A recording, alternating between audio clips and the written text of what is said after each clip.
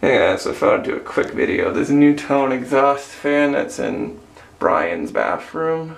Uh, switch here. First switch does cool blue light.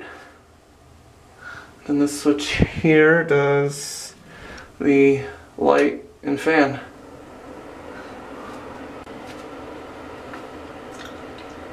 And here I am.